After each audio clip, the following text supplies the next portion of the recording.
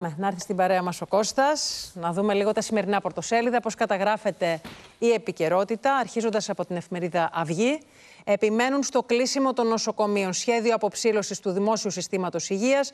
Βαφτίζουν συνένωση δυνάμεων της συγχωνεύσης και το κλείσιμο μονάδων. 63 νοσοκομεία βρίσκονται στο στόχαστρο. Κάποια από τα θέματα του πρώτου ε, ζητήματος που θέτει η Αυγή.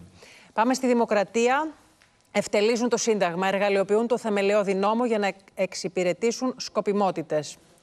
Πάμε στον ελεύθερο τύπο. Έχει μοιράσει τα κεντρικά του θέματα σε δύο, μισό και μισό. Τα πέντε σως για τη σωστή συμπλήρωση μηχανογραφικού, πολύ σημαντικό για τα παιδιά.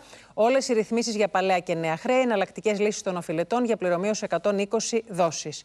Η εφημερίδα Εσπρέσο, αγωνία για το Δάνη Κατρανίδη, η μάχη του κινηματογραφικού ηγέτη του εξάστερου Παύλου Γιανακόπουλου και τι συμβαίνει με την υγεία του σπουδαίου θεατράνθρωπου. Ευχόμαστε ό,τι και αν είναι να είναι περαστικά όλα να πάνε καλά. Η εφημερίδα Εστία αμφισβητούν την κυριαρχία έξι νησιών λόγω της παρουσίας του στρατού μας.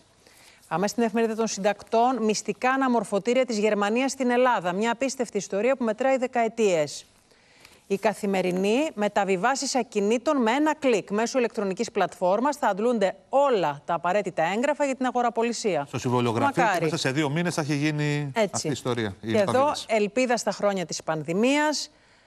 Το επόμενο θέμα της εφημερίδας. Πάμε στο καρφί του Σαββατοκυριακού. Νέα πόρτα στο Τζίπρα. Προοδευτική πλειοψηφία. Η Φόφη διεκδικεί ρόλο πρωταγωνιστή για το κίνημα αλλαγής.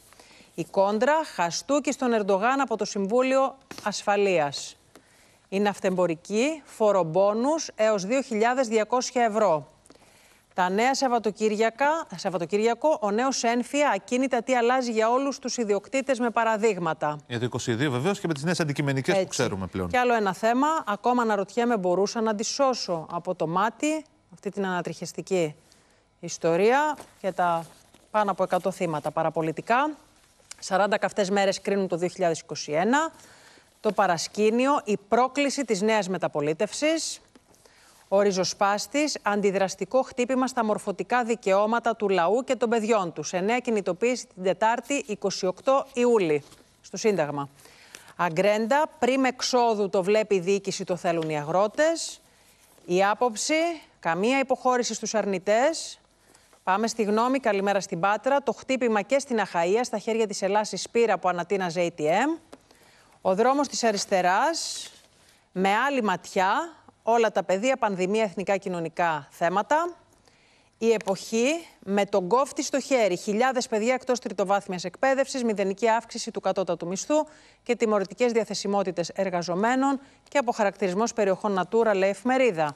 Πάμε στον ταχυδρόμο διαρρήκτες κλειδώθηκαν μέσα. Πώς το πέτυχαν αυτό; Τα έκαναν γυαλιά καρφιά σε τσιπουράδικο στο βόλο. Έσπασαν, λέει, με πυροσβεστήρια την τζαμαρία για να βγουν. Οι ε, κινήσεις των ποντικών καταγράφηκαν από κλειστό κύκλωμα παρακολούθηση. Στα χέρια της αστυνομίας οι κλέφτες τώρα ζητούν συγγνώμη. Κατάφεραν να μπουν, δεν μπορούσαν και να βγουν. Απίστευτο.